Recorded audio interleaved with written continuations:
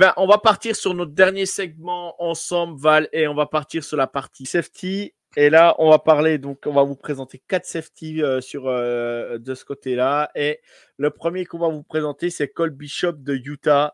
Euh, voilà, un safety, voilà, safety de Utah qu'on aime bien, où ça percute, où ça, où ça envoie du steak, c'est le cas de le dire. Vas-y, Val, parle-nous de Cole Bishop.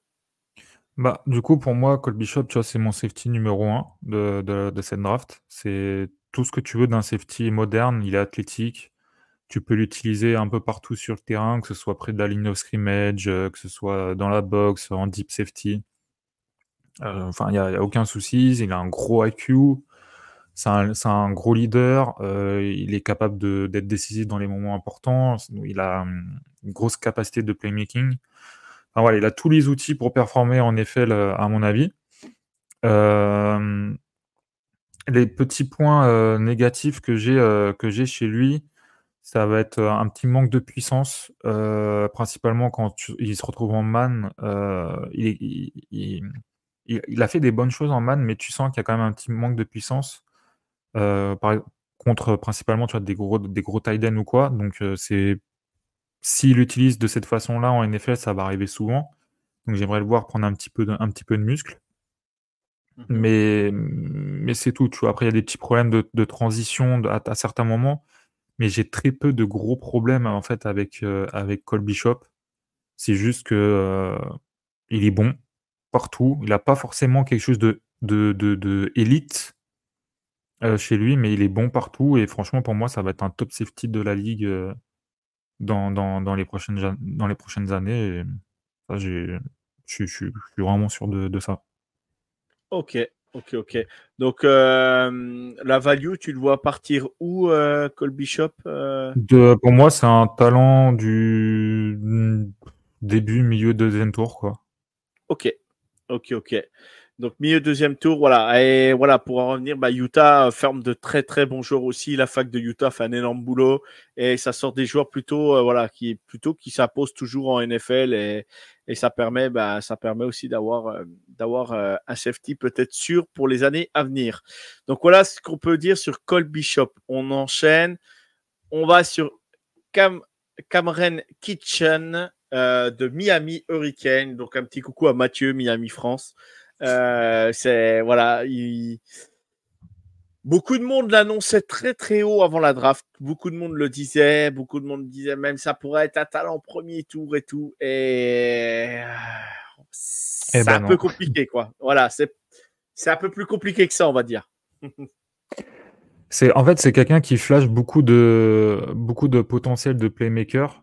Euh, quand tu regardes les stats, tu te dis ouais, c'est très c'est très solide, tu vois, pour un pour un safety. Mais en fait, le problème, c'est qu'il flash aussi beaucoup de possibilités aux équipes adverses de faire des big plays.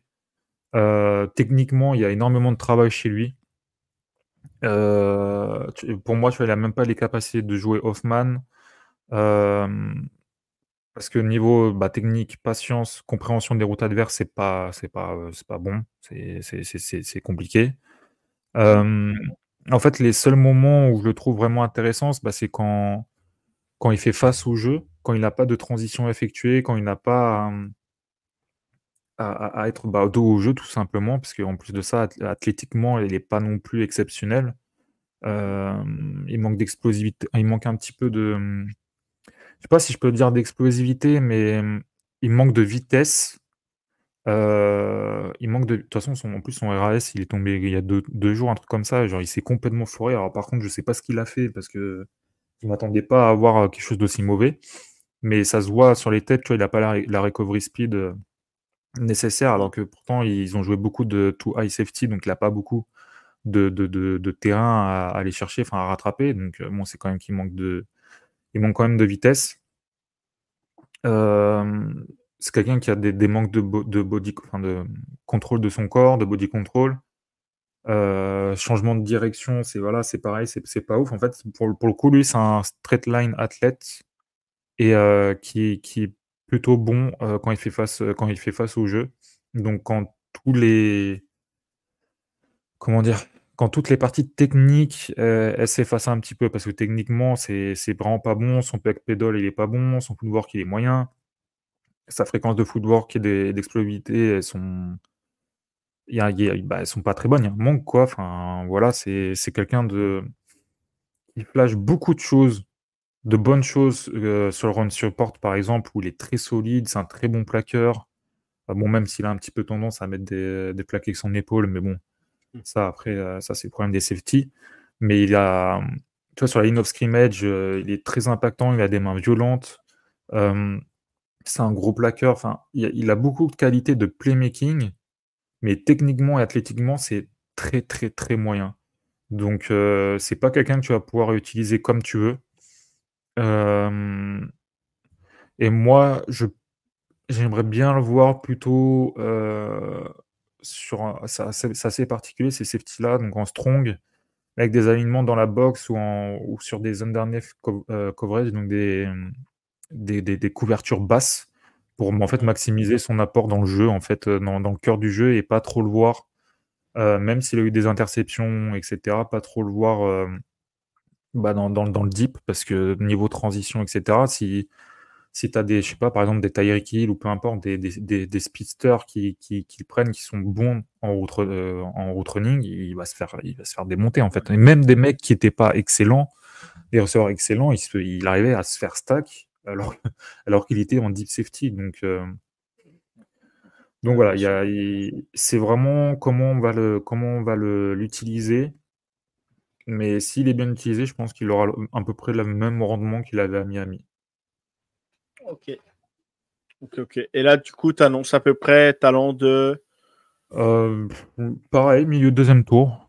Milieu, peut-être fin maintenant, je dirais fin, mais parce que son, parce que son pro day, il est vraiment catastrophique. Et genre, euh, donc ça je me pose des questions, tu vois. Mais de ce que j'ai vu sur les tapes, milieu, milieu deuxième tour. Ok. Mais on est bien loin d'un fin de premier tour comme on pouvait le voir euh, sur des mocks. On est ouais, à une époque. Ok. Ok, ok. Donc voilà, euh, voilà Cameron Kitchen, ce qui est déjà très bien. On le répète, un deuxième tour, euh, talent, fin de deuxième tour, milieu de deuxième tour, ça peut être, euh, c'est très bien.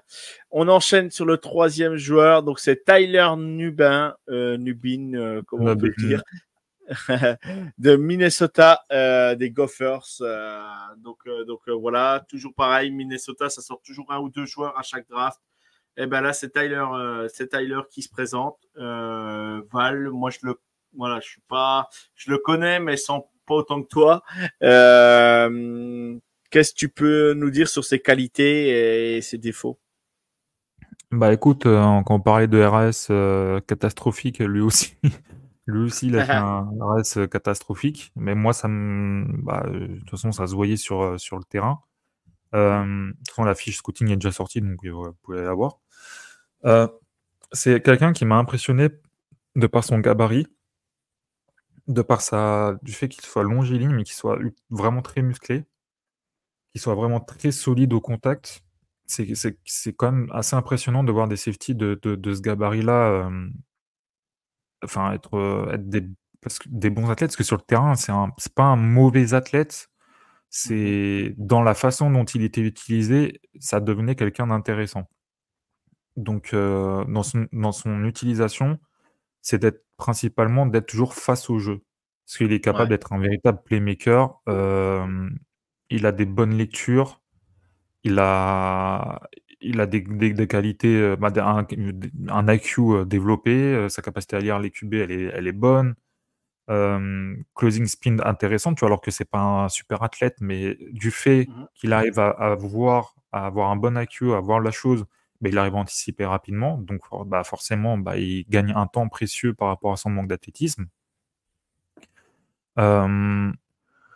Voilà, après c'est maintenant, c'est bah, tout ce qui va être en man, euh, bah, il n'a pas les capacités athlétiques et techniques pour exister, tout simplement. Et ça, il faut voilà, il faut pas le mettre dans cette euh, dans cette euh, dans cette situation parce qu'il va se faire il va se faire cramer quoi. Ouais. Voilà.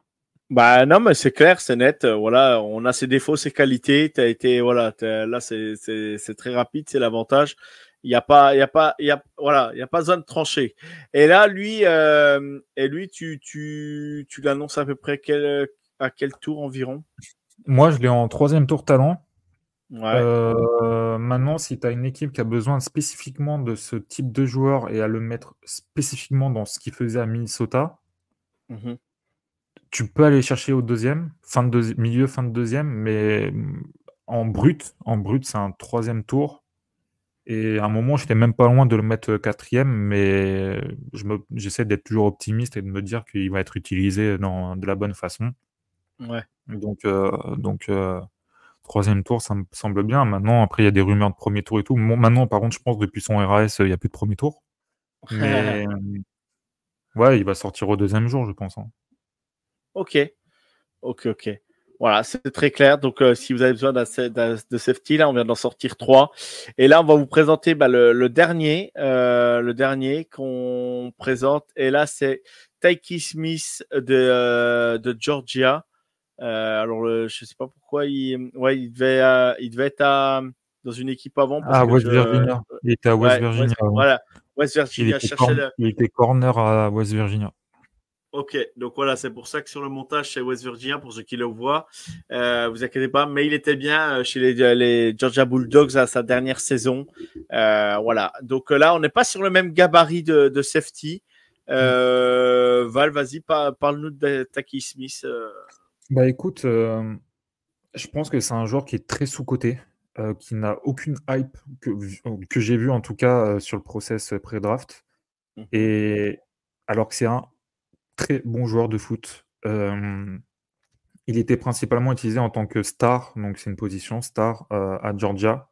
Donc c'est un espèce de safety hybride euh, linebacker dans le weak side, euh, si, je peux vulgariser ça, même si maintenant il y a plusieurs alignements possibles.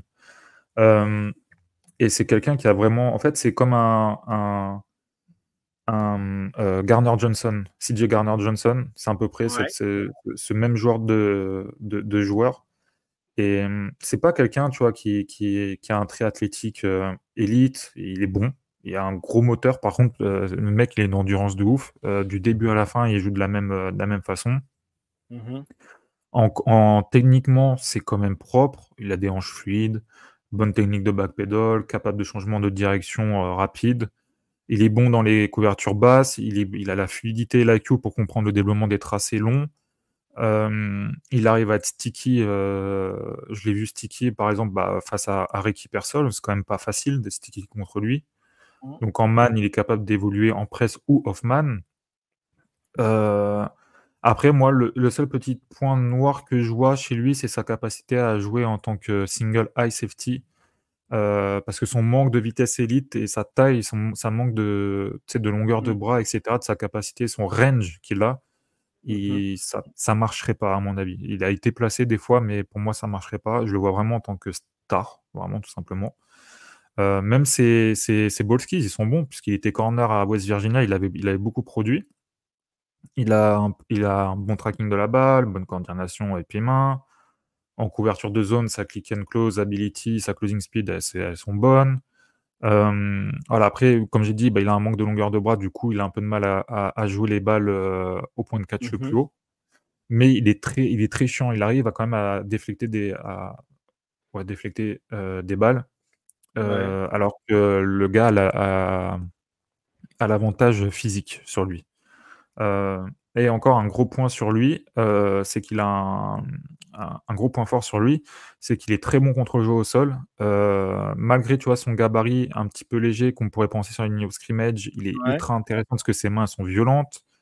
Euh, mis à part à, face à des, des solid tight en, en run block, euh, il se fait pas mal mener, il gagne beaucoup de beaucoup de beaucoup de batailles.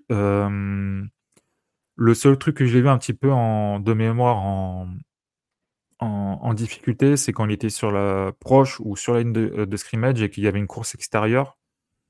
Il arrivait à rattraper, mais vraiment du bout du bras pour plaquer le mec, mais tu sentais qu'il y avait quand même un petit manque tu sais, d'explosité, d'accélération, ce petit manque euh, athlétique élite, tu vois, ce petit manque élite qui faisait que maintenant, tu, vois, c'est les genres de mecs qui, tu sais, c'est vraiment des, purs joueurs de foot. Euh, polyvalent, gros IQ, production, il a été à Georgia, euh, tu peux l'imaginer en tant que nickel, mmh. euh, sur des aliments en cover, en cover, en cover une robber, euh, sur une scrimmage. Enfin voilà, vraiment, tu peux l'imaginer partout et, Et c'est un mec, alors je sais pas s'il va sortir au, deuxième jour, enfin au troisième tour principalement, parce que moi je l'ai en tant que troisième tour talent. Mais mmh s'il est choisi au troisième, euh, troisième jour, il ne faudra pas s'étonner de son rendement et il dira mais comment c'est possible que ce mec-là, il a été choisi qu'au troisième jour? S'il est utilisé de la bonne façon, comme vraiment comme un Garner Johnson, euh, franchement, il, est, il, est, il, est, bon.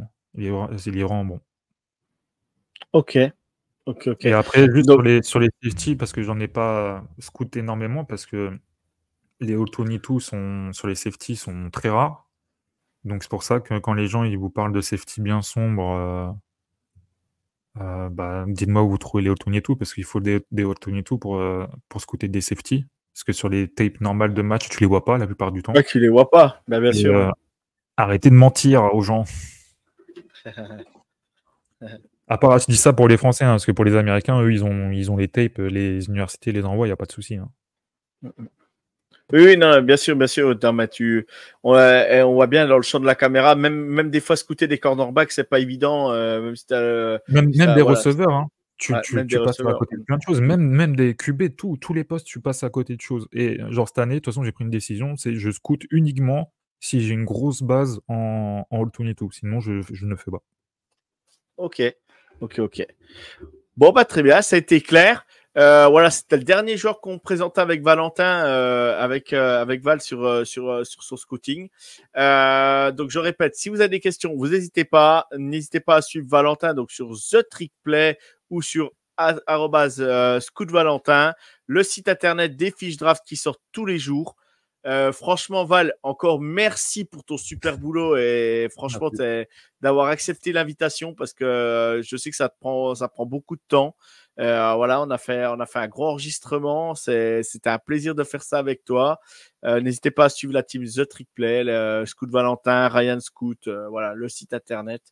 et toi, pour toi, Val, sur tous les joueurs qu'on a présentés dans ces deux numéros, lequel tu voudrais juste pour finir à Green Bay? Absolument, le celui que tu voudrais à Green Bay par-dessus tout. Sur ceux qu'on a présentés, oh putain.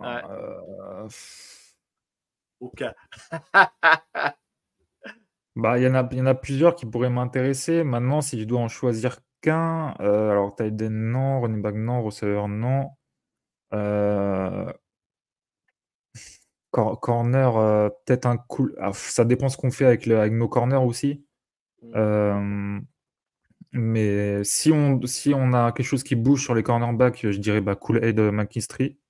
Mmh sinon, potentiellement un un coupeur de gens parce qu'on a besoin de nickel. Euh, ça pourrait être bien. Et sinon, bah, ce sera un safety, mais ouais, pareil, euh, Bishop. pour moi, il y a Bishop. Ok. Bon, bah, c'est très clair. C'est très clair. Eh ben, très bien. Eh ben, on va conclure sur cet épisode. Merci à toi, Val. Merci pour ta dispo et c'est toujours un plaisir de faire, euh, de faire ça avec toi. Quel régal, quel crack. Merci, bah, merci à toi hein, pour l'invitation, bien sûr. Et, bah, du coup, c'est la fin de cet épisode. Merci Val, petit générique. Ciao tout le monde, à bientôt et que Dieu vous garde, car moi j'ai pas le temps. Ciao tout le monde.